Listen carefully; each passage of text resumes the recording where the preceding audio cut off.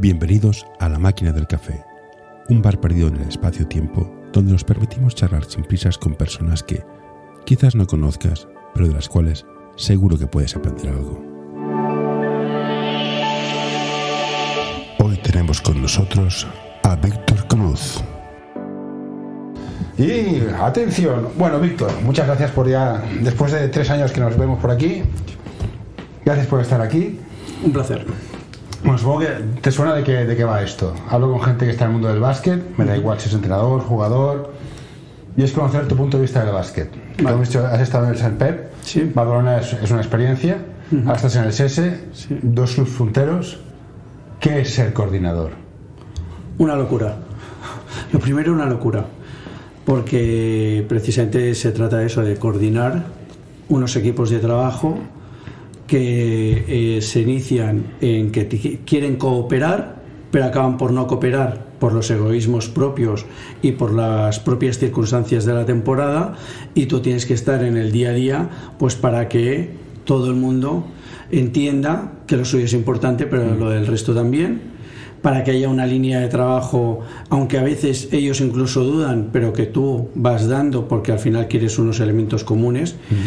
No puedes hacer ningún tipo de distinción, te tienes que coordinar también con la Junta, con el resto de elementos del club, desde la Secretaría, Marketing, Comunicación, con lo cual eh, pues es casi casi un trabajo mucho más profesional de lo que eh, la gente se cree y mucho más importante de lo que muchos clubs a veces contemplan.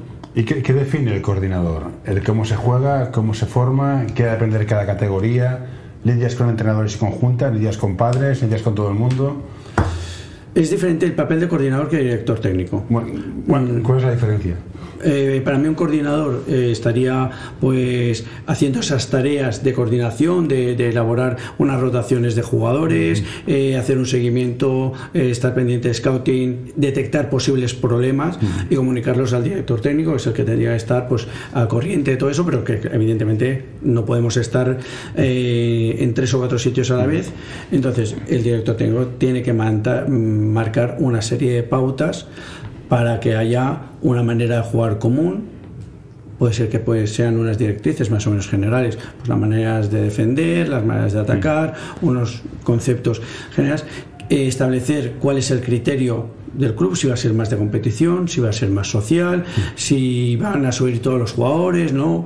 Eh, tienes que estar en contacto con la Junta porque evidentemente tú te tienes que sentir respaldado en tus decisiones sin estar continuamente pues eh, teniendo que estar valorado o pidiendo opinión y al mismo tiempo con los padres. Eh, es un elemento fundamental en el que los padres todas las familias entiendan eh, las de los buenos que siempre están muy contentos y las de los que no son tan buenos no tienen tanta calidad pues también tienen que entender en dónde están Perfecto. ¿Y cuál es el criterio técnico, táctico, estratégico que tiene que te gusta a ti? Porque una cosa es lo que te gusta a ti y otra cosa es lo que puedes imp- implementar, me imagino. yo creo que eh, lo que me gustaría a mí como entrenador es una cosa Sí, O sea, yo luego, pista- la- la realidad te pone donde te pone. No, no, no. O sea, como entrenador, yo tengo muy claro lo que voy a querer de mi equipo. Otra cosa es como director técnico. Como director técnico, Como director sí, sí. técnico tiene que haber eh, esto por categorías. Hay un trabajo que es común, que debería ser común posiblemente a todos los clubes. que es lo que debe saber un jugador mini? Pues votar con las dos manos eh, correctamente, una serie de cambios, posiciones defensivas y tal. Esto es común a todos. Luego, que quiero defender más arriba, menos arriba, eh, quiero defender una línea de pase abierta o cerrada, o cómo voy a establecer el sistema de ayudas, pues ya esto ya es más de que empecemos a centrar el director técnico con cada entrenador en función de? De las características de cada equipo. ¿Por qué? Porque cada generación tiene eh, diferencias.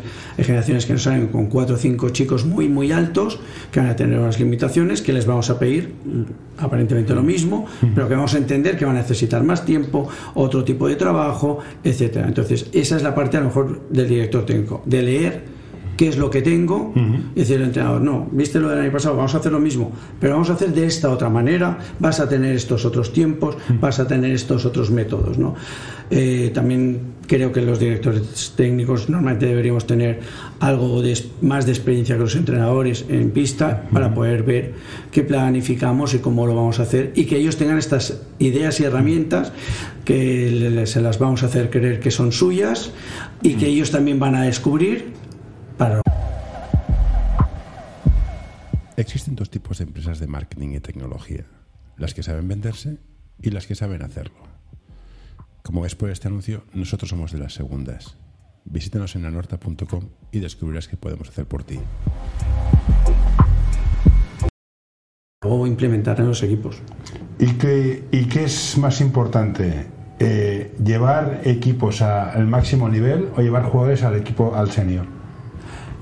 Para mí, en cualquier, club, en cualquier club sería llevar jugadores a su más alto nivel, porque eso te va a poner en camino de que los de más alto nivel en sus últimas etapas lo tengan más fácil el acceso a categoría senior de un alto nivel de rendimiento. Pero si tú vas a buscar la mejora continua del jugador desde pequeño, pues ya estás encaminándolo a que lleguen las mejores condiciones posibles al senior. ¿Y cómo gestionamos los padres? ¿Cómo se gestionan? Porque el SES es un club duro, tiene un, un equipo por año y hay cortes. Ya lo he discutido con todo el mundo y hay cortes. Y no me gusta, pero así es el mercado. O sea, o te cortan por arriba o te cortan por abajo. Me quedó claro con Pedro Alonso, me lo explicó. Vale, es lo que hay. ¿Cómo gestionas esto? Dices, tengo 12 jugadores, sé que dos son buenísimos y dos son muy malos. ¿Cómo lo gestionas? Que los dos muy buenos no te vayan y echar a los dos muy malos, claro, porque al final... Yo creo que en el caso de, ya no el SESE, en cualquier sitio, eh, realidad. O sea, la realidad tiene que ser en el día a día. Tiene que haber una coherencia del trabajo diario del entrenador. Para eso es muy importante la presencia de los entrenadores, de los directores técnicos en muchos de los entrenamientos. Tiene que haber una realidad y una coherencia en los partidos. No tiene mucho sentido que a un jugador que pensamos que a lo mejor no va a tener tanta calidad le estemos dando 30 minutos eh, porque sí. No, es que se, ya, pero al final esto tiene una fecha de caducidad.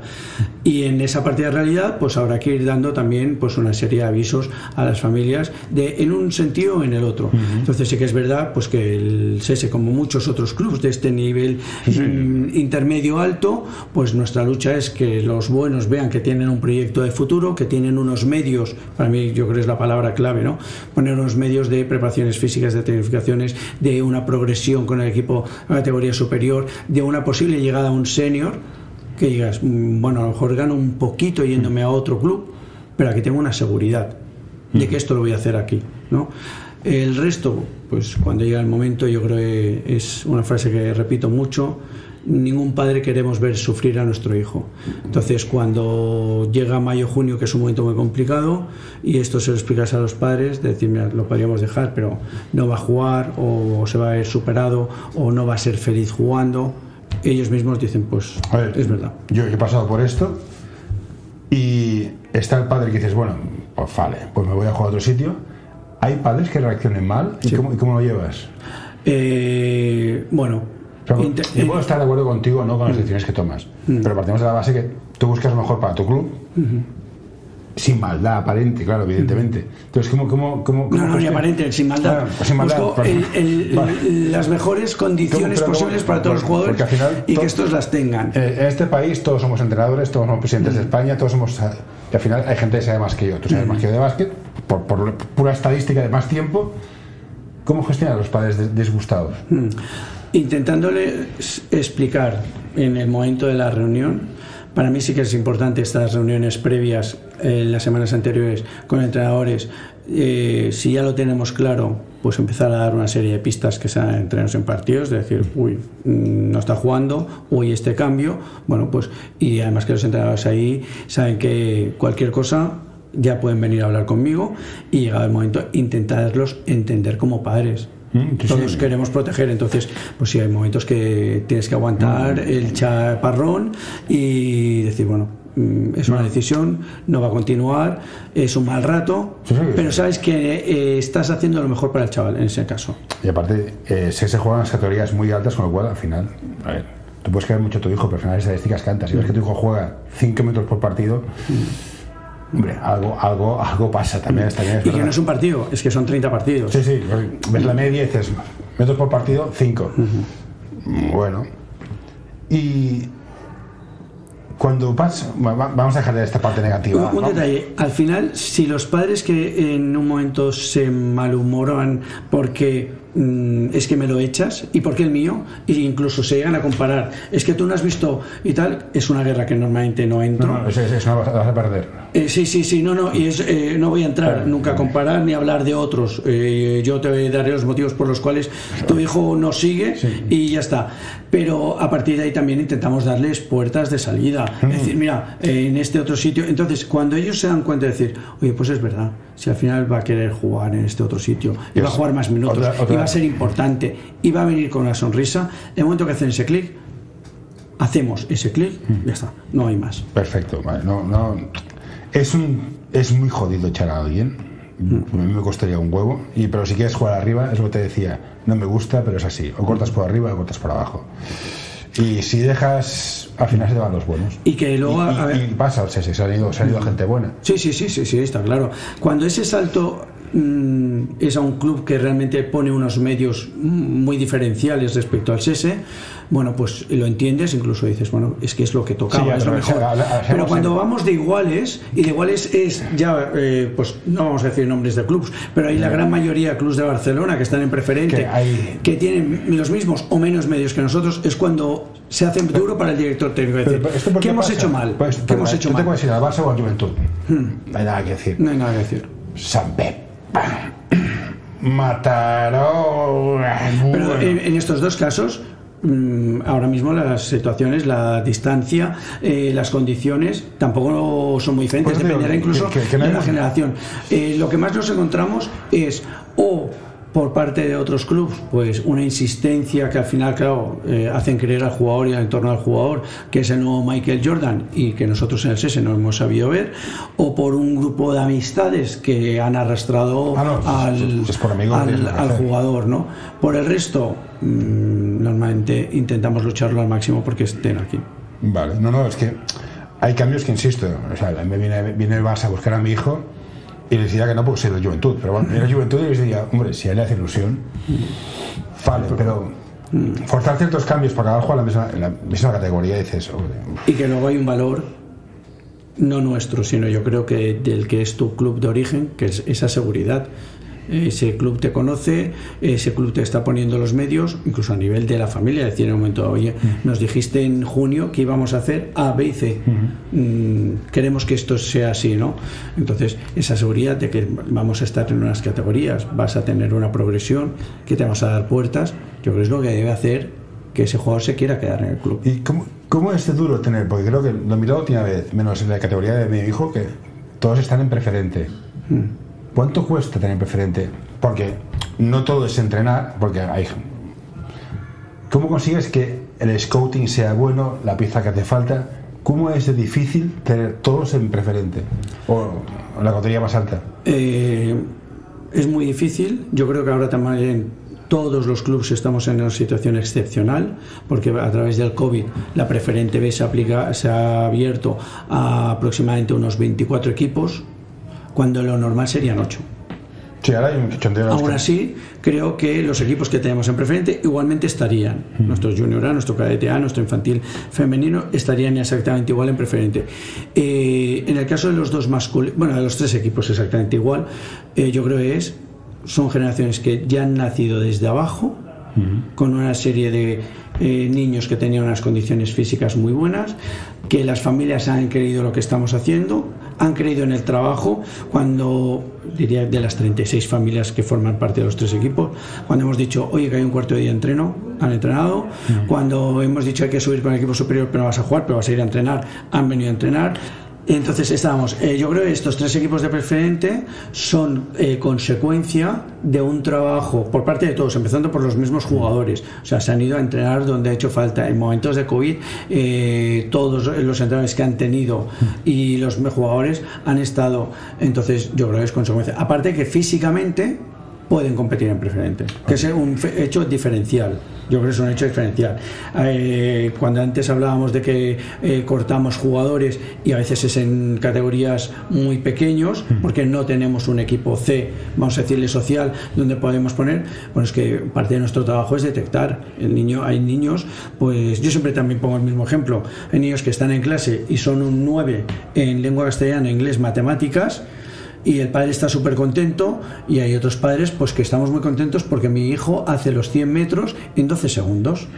Entonces, igual que yo tengo que aceptar que mi hijo no es bueno en matemáticas, pues habrá otros padres que tendrán que aceptar que su hijo no es bueno corriendo, ni saltando, ni tirando. Y, y es curioso, porque esto cuesta mucho más que a la inversa. Cuesta mucho más entender esto que el que no sea bueno en matemáticas. Entonces, eh, se han dado las condiciones de los tres equipos en que son grandes, son fuertes, No, son visto- rápidos, han entrenado jugar- mucho. El cadete B lo he visto jugar y es un gustazo. O sea, físicamente falta, falta centímetros, pero bueno, esto ya es lo que hay. Pero Bueno, entonces ahí viene esa otra manera de jugar, ¿no? Pues sí, iremos no. a presionar más, Sí, jugaremos más abiertos, buscaremos otros recursos, eh, que lo que sea. Eh, ¿Podremos optar a un campeonato de Cataluña? Pues será complicado porque hay equipos que tienen todos esos elementos más un físico.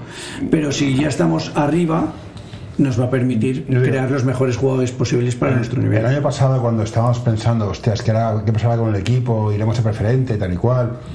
Me dio por ver una final de, preferen- de, de infantil preferente. Dices, no, ni de broma. O sea, ni de broma. Hay unas bestias pardas. Y de hecho, al final se ve, eh, lo dices tú, del 2000 hasta ahora, infantil, cadete y juveniles, campeones, Juventud y Barcelona. Sí, sí, sí. Porque ves unos morlacos que dices, tú no eres normal, colega. sí. O sea, entonces, bueno, compites, te lo pasas bien, llegas a la final, estos cuatro mejores, muy bien, pero no vas a ganar en tu vida. A no ser que suene la flauta. Y, y creo que eso también, decías del trabajo del director técnico, a mí me preocupa y, y hemos intentado evitarlo y aún así te queda siempre algún equipo cuando ves eh, partidos eh, 100 a 15. Me gustaría saber en qué está pensando el director técnico de ese club. El que ha perdido de 15. Porque sí, dices, no, si hay- has perdido uno, no vas a perder uno, Bueno. vas a perder 10. Entonces, ¿qué te puede pasar con un equipo? Sí. ¿Que te pase con cuatro del mismo club? No. Entonces, ahí es ajustar, ver el nivel real del equipo y decir, mira, Ya, esto corresponde a esta categoría. Lo que pasa es que todos somos muy ambiciosos, todos Hay- hay queremos coordina- estar. coordina- coordinadores y directores técnicos que se creen que son muy buenos y al final.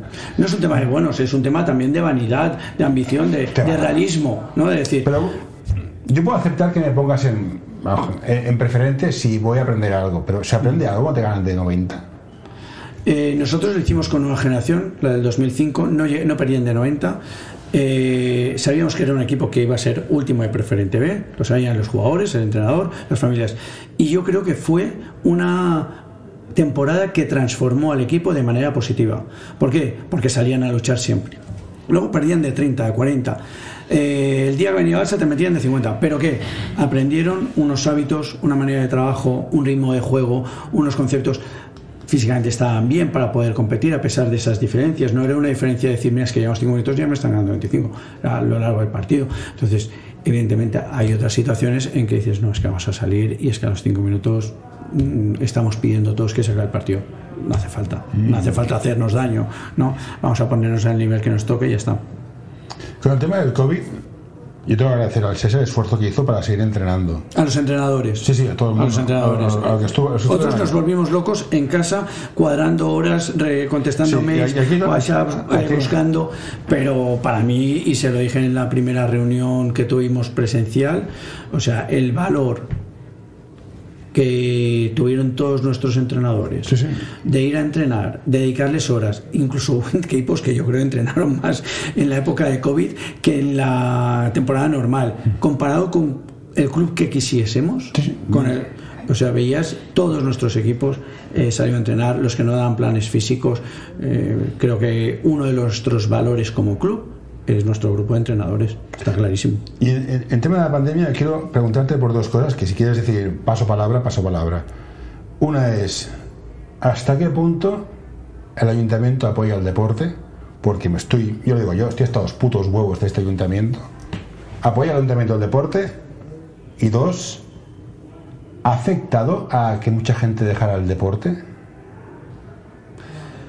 Te contesto primero la segunda. Vale. Eh, yo creo que sí que ha habido algunas situaciones, pero realmente han sido puntuales, de que la pandemia les ha mostrado pues, que a lo mejor no era, no formaba parte de su vida el deporte entendido pues como, en este caso es ese, a lo mejor era otra manera, eh, otro deporte, pero hemos tenido casos de estos pocos, te diría que cuatro o cinco, con lo cual, a nivel de generaciones, bueno, evidentemente se, se dan otros hábitos, otras maneras de hacer, entonces costará a lo mejor un poquito remontar, pero también nos hemos encontrado que en cuanto ha acabado la pandemia, septiembre, todo el mundo estaba con muchas ganas y todo. Entonces, de la otra parte, el ayuntamiento, yo creo que es un tipo, es una política social, no es un tema del deporte en general. Me explico. O sea, está muy bien que quieran fomentar que el deporte sea algo que pueda hacer todo el mundo y que pongan condiciones para que todo el mundo lo pueda hacer.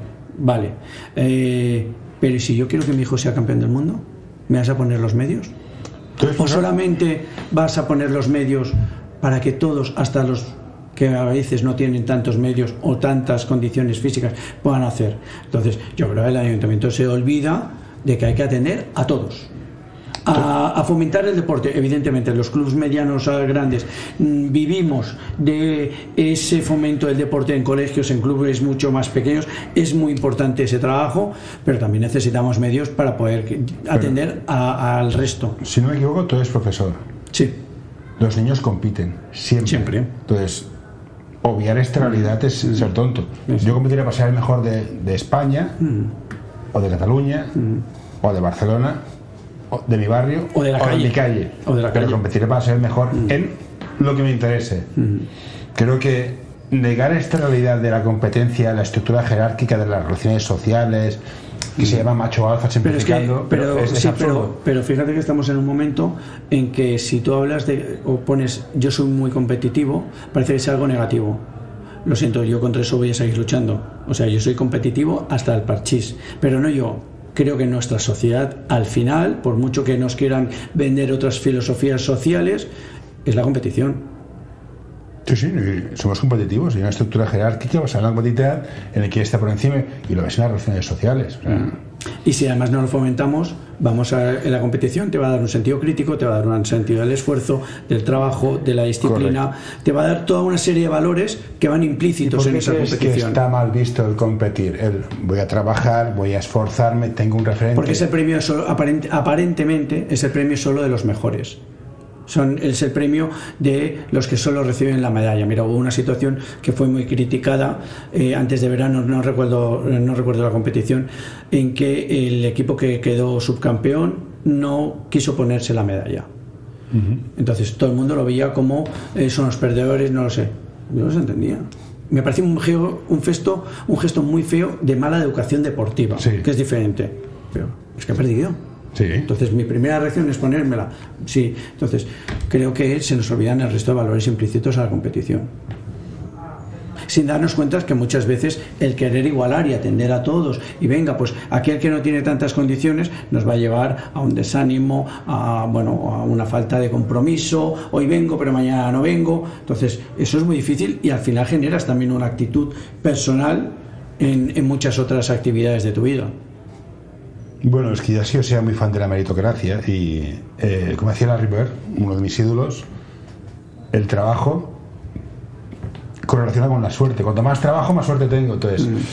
Pues mira, la filosofía nuestra que me preguntabas antes es un poco esta. Y los equipos que me hemos nombrado preferente, yo recuerdo de la reunión con el Junior ETA, cuando son pequeñitos, ¿eh? cuando son minis, decirles, eh, familias, mm, de lunes a viernes trabajamos mucho y cuando ficho un jugador nuevo para uno de estos equipos de un nivel que decimos de preferente, es que la familia entienda que va a tener unos medios de trabajo que no le van a dar en ningún otro sitio si no es un equipo con puntero, en forma de las tecnificaciones, de una hora antes preparación física dos días a la semana, de que a la mínima estamos poniendo rotación.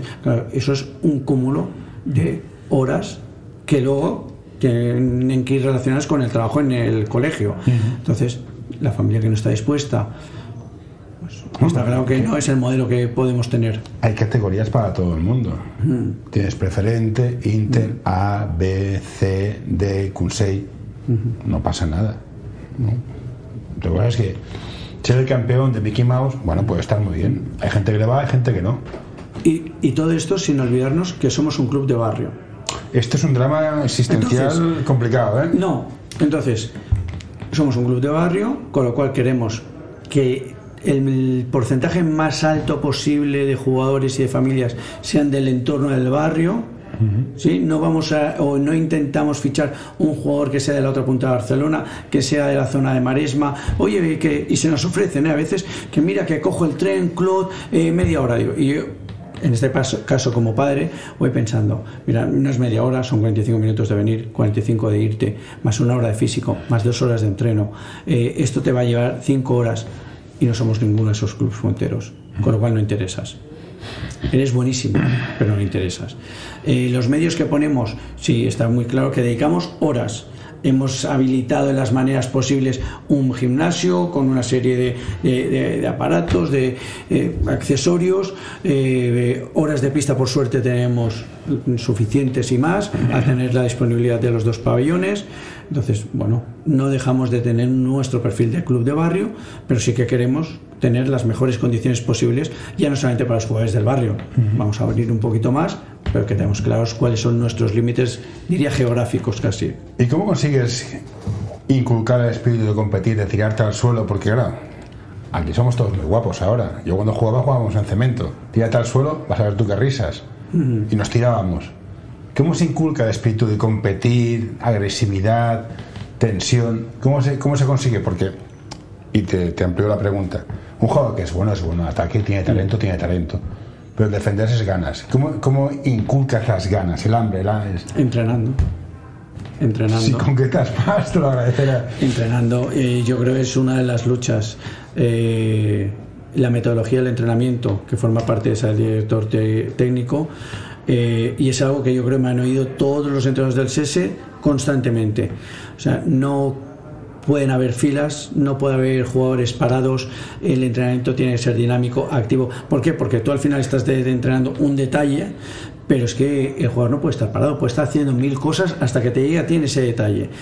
Dos, Tienes que entrenar como juegas desde que eres pequeño. Ahí estamos. entonces, juegas como eh, entrenas. Eh, entonces, si tú sabes que en el partido vas a ir a una pista descubierta de cemento, de rachola y te vas a tirar, como en el día del entrenamiento en un pabellón a 30 grados, no hagas ejercicios para que se tiren, se van a tirar.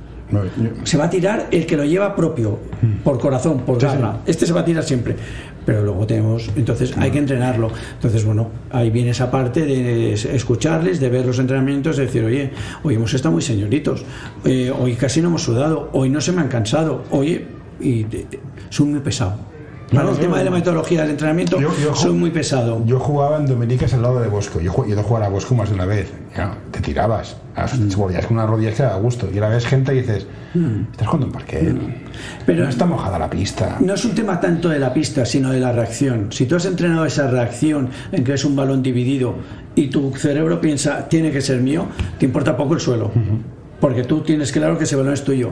Pero no es la pista es lo que tú has generado durante los entrenamientos de la necesidad que tienes de ese balón. Si tú no lo has entrenado, vamos, ni en el parque se tirarán. Una de las razones por las cuales yo quiero que mis hijos hagan deporte, deporte de básquet, es, es el, el, entorno, el grupo de amigos. ¿Cómo mantienes el concepto de grupo, de identidad grupal, siendo un club que corta? Bueno, porque el, el, el prototipo que nosotros querríamos es que empezasen prácticamente ya desde preministes, que tengamos la suerte, porque no es otro factor, que aparezcan 6, 7, 8, 10 niños con unas condiciones físicas buenas cuando no pasa eso, ya antes de pre-mini mini es cuando se empiezan a producir cambios, porque dices, bueno, por mucho que entrenemos, pues no son altos, no son rápidos, no son. Entonces ahí ya tenemos una primera criba. Pero que sí que cuando estamos sacando la etapa mini, digas, bueno, aquí ya tenemos un grupo que nos va a llegar. Ha sido una de mis luchas siempre en todos los sitios que estaba director técnico que haya jugadores de pre-mini que nos llegan a junior, que haya jugadores de mini que nos llegan al junior otras casas que estuve, eh, me llamaba la atención. ¿Por qué? Porque es que, claro, en infantiles y en cadetes podíamos fichar jugadores del Barça del Juventud. Entonces, ese jugador que has parido, que has dedicado muchas horas infantil, que es un jugador excelente, lo cortas. Porque es que ha salido el número 11 del Barça y lo fichas. ¿Y justifica el jugador número 11? Entonces, tú como director técnico te tenías que enfrentar te tenías que enfrentar al entrenador, porque claro, ese jugador que salía de Barça Peña era alto, guapo, bueno, educado, lo tenía todo. Entonces, tú te tenías que plantear decir, mira, me parece muy bien, pero este jugador que es nuestro de toda la vida y que va a ser nuestro para siempre, no lo vamos a Sí, cortar. pues yo jugaba básquet con la época que jugaban 5 y gracias. Y gestionar del 7, eh, del 8 al 12 era complicado. Y tener un jugador que era complicado el vestuario es un problema. Y un jugador de la casa no va a ser complicado. Exactamente. Vale la pena. No, ya, me- ya me has contestado. O sea, veces fichamos gente que parece que es muy buena y es, es un. Es, un, es como si me dices, vamos a fichar a Westbrook para el, para el senior. Yo no lo fichaba. Es, es un cáncer de equipos. Ya. Entonces, bueno, ahí viene esa lucha también de intentar que el bloque vaya subiendo, que se vaya haciendo unos cambios cada temporada, con lo cual el gru- grupo se va sintiendo revalorizado. Y luego también la parte, otra vez que decíamos antes, en un momento dado, de que eh, hay que aceptar y no todas las generaciones en el SESE nos van a salir de nivel No, preferente. ¿Las podemos cambiar enteras? No. ¿Las tenemos que.? No. Bueno, pues habrá generaciones intermedias que, que nos dan un valor real de lo que es el club. También decías que aquí tenemos un equipo por año. ¿Es por filosofía o es porque faltan pistas? No, yo creo que es por filosofía. Eh, precisamente cogiendo lo que decíamos antes del ayuntamiento. Hay otros clubes en el entorno que podríamos montar una línea C del SESE, prácticamente. ¿Por qué? Porque juegan en unos niveles eh, de promoción, del baloncesto, donde nosotros derivamos muchos de los jugadores que vemos que no van a tener esta continuidad, con lo cual, pues teniendo los equipos que tenemos, ya ocupamos todas las pistas. ¿Y cómo lo hacéis? Porque cuando eres pequeño ves a gente que es muy buena, tiene gente, sobre todo bajitos, que tienen un talento y dices, ostras, pero el tío alto le cuesta. ¿Cómo distingues que el bajito va a llegar y no va a tener... chocan con- llega una edad que chocan contra un muro y se quedan. Bueno, no, podemos, podemos- podemos discutir esto. ¿Y el alto a base de trabajo puede llegar? ¿Cómo- Mi- cómo? Al contrario, mi obsesión son los altos. Pero yo, yo veo, yo veo tíos. Tengo, un- tengo un amigo tiene un hijo que es alto, no lo siguiente, y es, tiene 10 años. Tráelo. A ver. Tráelo. No, no, está, está en el orto, no va a venir. O sea, te lo digo. Va a venir. Ya, ya sé quién es. Vale, pues sabes quién es. Claro, pero este tío le ha de costar y este, está trabajando. Costar, sí. sí, sí. Tenemos que trabajar con eso. Pero este chico es obviamente tan alto que se, se ve, pero ostras, un tío que dices, "Hostia, a lo mejor mide 10 centímetros menos. ¿Cómo, ¿Cómo distinguís el, hostia, el pequeñito que va a llegar, no se va a estancar? ¿Cómo, cómo, cómo se hace? Yo te lo planteo de manera diferente. Eh, primero, nuestra obsesión es los saltos. Entonces, los saltos, evidentemente, tienen que tener un mínimo de esas condiciones que decíamos psicomotrices antes de los 12 años. ¿Tiene que ser más rápido? No. ¿El más coordinado? No. Está claro. Pero que le veamos, pues que va entendiendo el juego, que tiene sus manitas, que tiene. eh, sí. En el caso del pequeño, eh, te diría que al contrario, eh, nos encontramos con muchos pequeños que son muy importantes en categorías inferiores y según van creciendo dices, "Uy, no llegamos, no llegamos, no llegamos, no llegamos, no hemos llegado. Vale. Y es una pena porque son jugadores excelentes y que además luego viene la otra parte, tanto del entorno familiar como del propio club. Y este no va a llegar al senior, este no lo vamos a poner al senior, perdón, mide 1,65. Es que esto se juega a 3,05. Y me- te lo digo yo que mido 1,70. No, no, sí, no. Entonces, yo- yo- aquí hay una obsesión. Del senior podemos hablar. Yo creo que el senior del SS le falta altura. O sea, Al A. a, a Leva le falta altura. Yo creo que sí. Tienen Mm, sé. 2-4, que es un, dos- un- un- Bueno, es igual. Ah. Aquí un director técnico no quiere decidir a lo que. a mí- Para mí me falta No, altura. el señor A lo gestiona. Bueno, quien sea, me da igual. Yo vi el partido de Martínez aquí, que fue un espectáculo. sí. Y para mí me faltaba, entre muchas cosas, altura. Pero bueno, Martínez tampoco es un equipo muy alto, ¿eh? tenían dos, Tenían- dos que hacían. Un jugador, luego el resto están en 1,96. Bueno, A veces no es tan importante la altura como lo que pareces en pista. Bueno, también puede ser. o sea, hay, gente que puede aprend- hay gente que llena espacio. ¿Qué te iba a decir? Vale. Ah, ah, mira, una- un tema interesante. Mis, mis hijos van al colegio igual que los tuyos y tú eres profesor, yo no. ¿Los profesores entienden que esto es formación? Porque a mí me toca mucho las narices la sobrecarga de trabajo extra que tienen mis hijos. No sé si es en todos los colegios, en el mío sí, vale, es lo que hay. Pero los, los maestros entienden que aquí hay maestros de otro tipo, pero son maestros, porque obviamente un entrenador de formación es un maestro. Eh, se va entendiendo, se va entendiendo. Eh, lo que pasa que yo he empezado diciéndote, los entrenadores ven solamente lo suyo, los profesores solo vemos lo nuestro, que es nuestra asignatura, nuestro examen, nuestra planificación. Entonces, sí que es verdad que compatibilizar todo es complicado porque el profesor no está pensando que ese chico va a tener tres horas de entrenamiento esa tarde, que es lo que le toca hacer por edad, porque es un momento de formarse, de recibir otros compañeros, otras instrucciones, otro todo. Entonces, eh, tenemos un sistema educativo y un sistema deportivo que en ningún momento se han coordinado. Por muchas propuestas que, no, un sistema universitario, no, ese problema no es la universidad. Cuando me dicen, no, es que vamos a montar una liga universitaria, siempre pienso, si es que el problema no es la universidad. No, el problema está ahí, aparte no, funciona. que los colegios acabamos a las 5, las asistencias extraescolares, si lo queremos hacer medio bien, vamos a estar dos horas, dos horas y media, el niño llega cansado, cena y se va a dormir. Sí, sí, es el problema que tengo yo y cuando el aprovechamiento de las horas de clase de 3 a 4 y media es muy inferior al de las mañanas. Sí, yo estoy cada vez más fan de hacer, mira, hacemos de 9, de 9 a 2. De 8, de 8 a 2. De, Eso, de 8 a 2. A partir de segundo de esos o mayorcitos, se puede hacer. Sí, sí. Entonces llegas, comes y tienes media tarde para poder sí. hacer todo. Pero.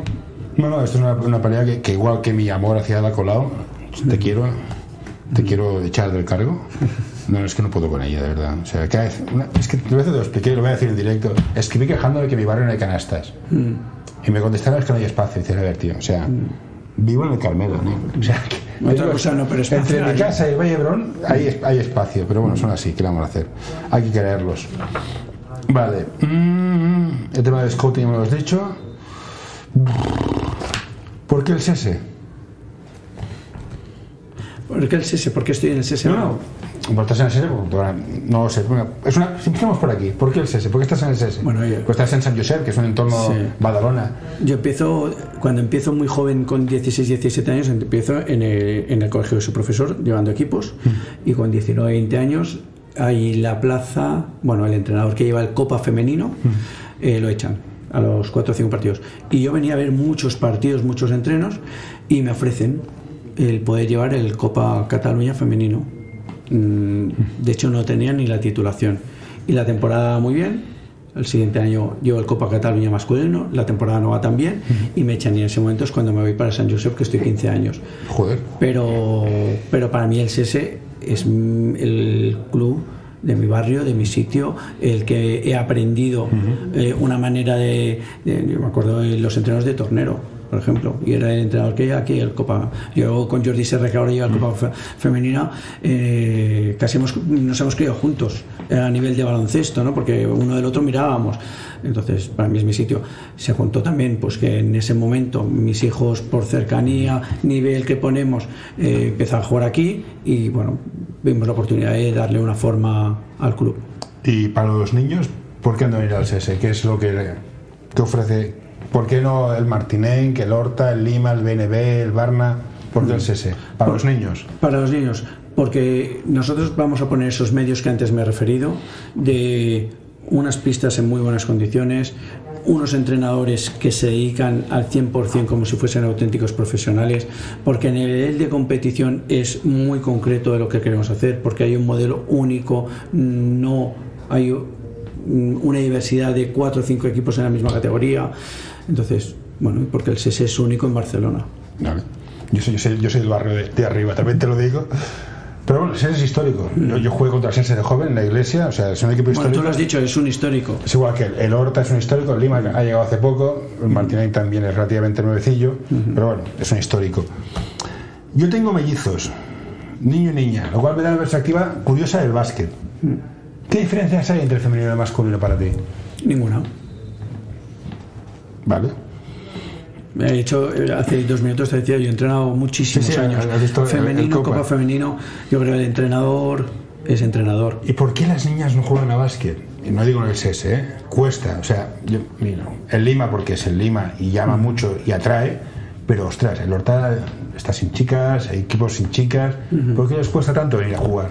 Te diría porque es, las familias y especialmente los padres somos machistas. Y te explico lo que nos ha pasado no, bueno, bueno. en los dos últimos años lo que nos ha pasado los dos últimos años. Eh, esculeta mientras las niñas tienen 5 o 6 años hay que bien la niña juega básquet. Oye que vamos a montar el equipo igual que hacemos todos los años. Ya tenemos 10 niñas vamos a empezar temporada. Se van de la reunión 15 de mayo todos los padres oh qué bien. A las 3 semanas se nos han desapuntado 6-7 niñas muchas veces condicionados por el mismo padre. Es que, ¿qué básquet? he pensado que a lo mejor va a probar la rítmica, va a probar la danza, va a probar el patinaje. Y no. Y cambian de deporte. Sí, no, no, me, me- me- me has dejado, me has dejado parado. Entonces, yo, eh, y esto ya digo, es que los últimos dos años, el equipo montado de femenino, salimos de la reunión con todo el grupo de padres, teléfonos, grupo, y ya licencias, todo, y de pronto te aparecen cuatro o cinco y tienes que acabar desmontando el equipo, porque claro, ya no te salen otra vez. Yo tenía una teoría muy pasajera, pero afectaba a niños y niñas, que los padres pasan de aplicar el fin de semana. No, no, cada vez menos, cada vez hay más sacrificio.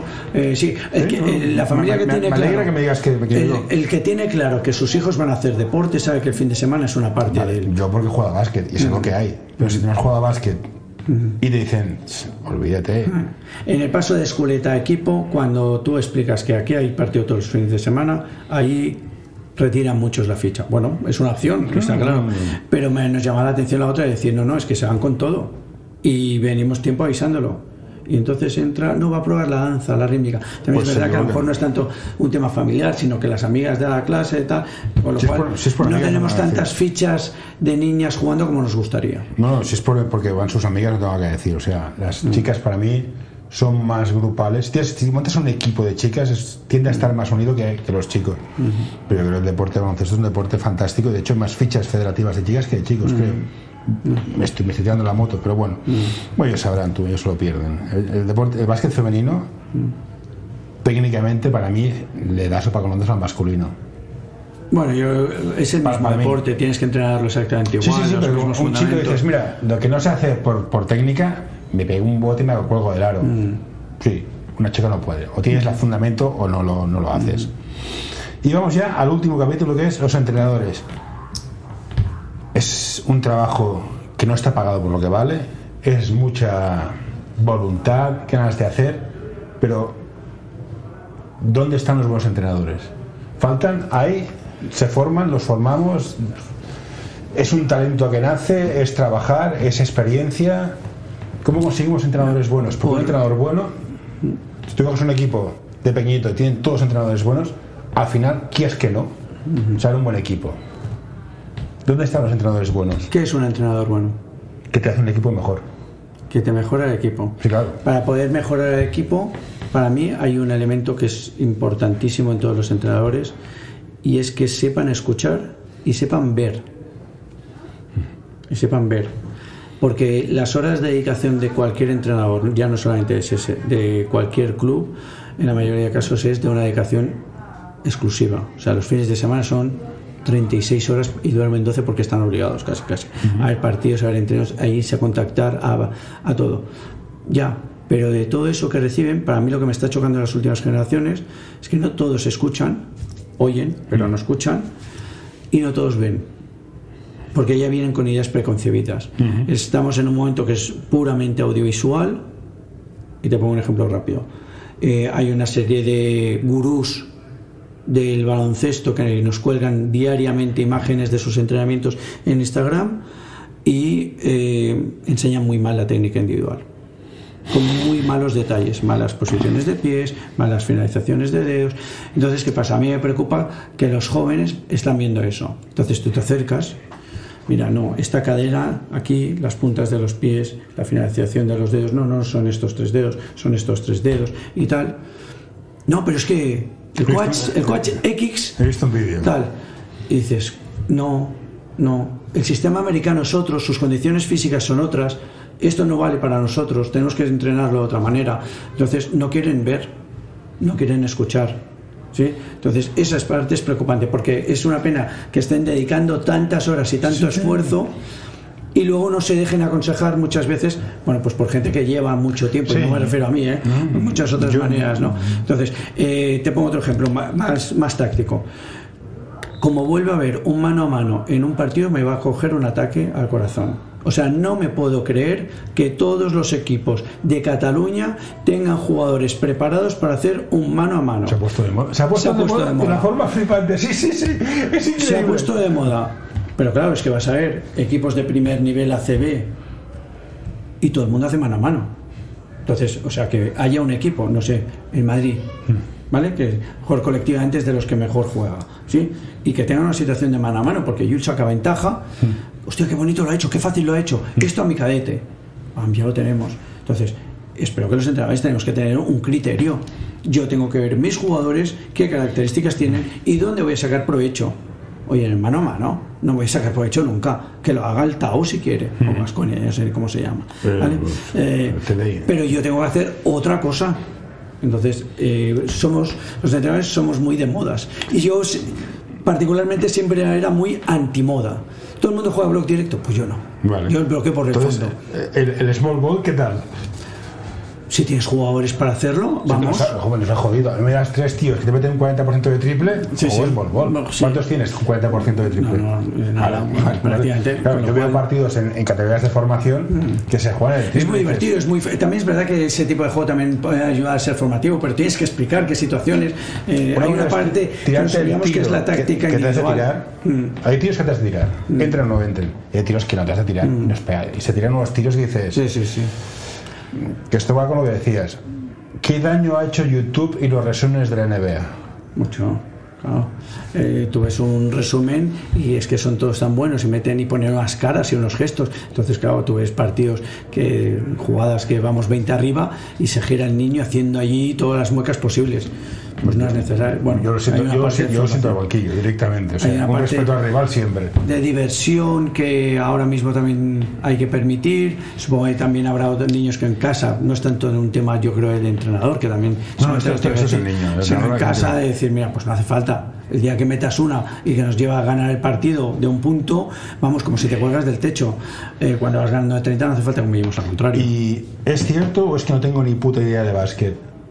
Que los jugadores se ponen en la esquina del triple, plan, pásamela, pásamela, que soy muy bueno. Que jugamos sin balón, no sabemos jugar sin no balón. No sabemos sin jugar sin balón, es otra de las luchas que tenemos constantemente. Es un poco lo que te decía, lo de la metodología del entrenamiento. Eh, no todos los jugadores que tenemos son buenos, con lo cual a los que no son buenos en el tiro en el uno contra uno les tenemos que dar recursos. ¿Qué mejor recurso que cuando entre el bueno tú acompañalo por el fondo? Cuando el bueno tenga la, ese que la sabe pasar, tú corta el lado contrario. O sea, dos puntos, dos puntos, dos puntos, estás haciendo feliz al jugador, no suma el punto, estás generando otra forma de recursos. Entonces, bueno, es la lectura que te digo del entrenador. ¿Por qué no se hace? Porque claro, es que venimos de una época. Ahora se utilizan, se est están empezando a utilizar un poquito menos las esquinas. Cosa que creo que es un pecado porque son fundamentales para hacer grande el campo, porque estamos sí, jugando con es, es bichos de dos metros, pero porque es que lo focalizamos todo en el centro por un mano a mano o por un bloque directo central el Spanish. Entonces, eh, las esquinas son importantes, sí, pero ahora ya a lo mejor no tanto. Ve, hace dos años sí tan, ¿sabes? ¿Y la estadística? El Big Data, Data Analysis, todas estas cosas, como lo Es en plan, está bien, te pongo una cosa. Yo estudio psicología y tenemos test que están bien, pero al final hay que. Ayudamos a mantener este podcast colaborando en patreon.com barra anorta o coffee.com barra anorta del psicólogo es lo más importante. ¿Esto pasa con los entrenadores o la estadística os, os ha comido? Que eso decía Popovich. Ya no. Sí. Yo creo que la estadística es una herramienta más, pero no puede ser la única herramienta, ni la primera ni la más importante. Es una más. Para mí lo más importante como entrenador es la interpretación de lo que he visto.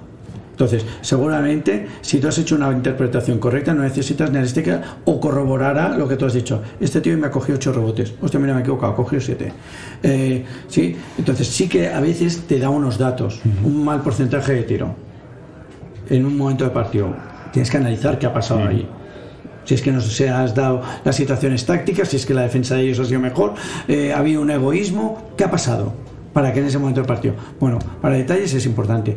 A mí me preocupa también de la estadística y es algo hacia lo que vamos, eh, porque creo que en dos años vista prácticamente van a estar colgadas todas las actas de todas las categorías, incluyendo Premini, con lo cual es muy posible que haya hasta estadísticas en todas las categorías, porque lo vamos a hacer con la tablet. Me preocupa mucho la lectura que hacen muchísimos padres desde el sofá de su casa del partido que ha jugado el amigo de su hijo. Bueno, es más, el partido que ha jugado su hijo. Cojo la estadística, ¡oh! fíjate este, ha jugado 12 minutos, ha metido dos puntos, uno de cuatro, tal, tal, tal. A jugar el chaval ha hecho un partido atrás en defensa brutal, hasta en todos sí, los apoyos, eh, ha hecho cuatro cortes con, ¿sabes? O eso uno, dos. Eh, a una reclama eh, casi casi popular. Eh, estamos profesionalizando por lo que nos piden que cuestan los cursos de entrenador, por lo que cuestan las fichas, los médicos, las pistas, todos los entornos del baloncesto. El arbitraje ha mejorado mucho en los dos últimos años, en general. Etapas de formación tenemos que tener un poquito de paciencia, pero hay un detalle. Las estadísticas no. O sea, por favor, las estadísticas tienen que tener un rigor o que no sean publicadas. Bueno, Porque, yo- yo te porque la al final, y lo hemos vivido muchos, las estadísticas pueden provocar conflictos, pues, conflictos eh, en un alto nivel dentro del equipo por- porque no se saben interpretar, eh, a nivel de padres, a nivel del propio jugador. Yo, ¿no? por las estadísticas que yo puedo ver es que se ponen, se ponen minutos y puntos. Entonces, hostia, me faltan, me faltan datos. Porque a lo mejor no se tiene un punto, pero te has cogido 14 rebotes, has dado 10 asistencias, o a tu par lo has secado. Bueno, pero si esas estadísticas hechas completas, ya estamos hablando de ligas LEPS, ligas preferentes, que son algo más completas, no le damos un, un rigor en cuanto que estén bien hechas. Vamos, se sí. coge un rebote, se apunta al rebote, acoge una asistencia, se coge la asistencia. Se ha hecho tres tiros y se han fallado los tres, se ha hecho un 0 de 3. Pero, aparte que saberlas ¿Por qué leer. las ponemos? Es mejor no ponerlas. Pero es que aparte que saberlas leer. O sea, Sí, pues, sí, sí, sí. Luego viene la parte que te decía leer- padre que está en el sofá de casa Claro y las yo- tiene que yo- saber yo- leer. Ya en Kunsei me encontraba con padres, no, no, yo a mi hijo si mete puntos le, le- le pago. Le pago. Me dices, "¿Pero ¿qué me estás Un euro por punto, esto lo he visto ¿Qué me estás también, sí, sí. contando? Te estás cargando al niño y al equipo. Sí, sí, sí. sí, sí. Entonces, pero bueno, entonces, eh, en todos estos entornos estamos. eh, espero que esto que si se quiere hacer, hay que hacerlo bien y si no es algo que no es necesario, es que Vale. no es necesario. O sea, es- No, no, a mí, a mí me gusta verlo, pero claro, yo quiero pensar que sé de lo que hablo, más o menos. Pero entiendo que hay gente que no y dice, estás, no has metido ningún punto. Y dices, ha hecho un partidazo. la- yo creo que las estadísticas son un poco como una parte de la economía que es muy interpretable según te ayuda a favor o en contra. Sí, bueno, O yo, como las quieras ver tú. yo me aburría y hacía el más menos cuando jugaban en mini. O sea, imagínate lo aburrido que estoy. Poca feina tengo. Y ya para acabar, que tengo aquí, te llevo 53 minutos pegándote la paliza. ¿Cuántos entrenadores en pista? Yo soy fan de tener tres. ¿Es posible? Eh, por equipo, sí, sí. Depende del nivel de la, del, Bueno, del equipo. Así a nivel general, porque es imposible corregir a 12 tíos a la vez. Lo perfecto en entreno serían, si es posible, tres. Tres más un delegado sería un staff Sí, muy correcto para sería- sería el De hecho, tú me decías, creo que menos el infantil a masculino, la mayoría de equipos del SESE, y es uno de los valores que creo que debemos intentar eh, trabajar, eh, tienen estos staffs de 3, 4 hasta 5. primer, segundo, tercer entrenador. Eh. No, es una lucha. Pues ¿Qué pasa? Que en estas categorías no siempre llegas a poderlo tener No, sí, sí, porque te dependes de la disponibilidad de muchas personas que lo hacen de manera altruista. Pues sí, sí, estoy de acuerdo. Si tuvieras que pagar el precio ahora de la gente, no saldría. No saldría. Bueno, no te voy a seguir más. Aquí, muchas gracias, Víctor. Nada, ha sido un placer. podemos Y... hablar de baloncesto, podemos hablar No, no, sí, lo sé, sé, me puedo enrollar, o sea, pero tienes que entrar en la junta, estamos aquí. Bueno, pues muchas gracias.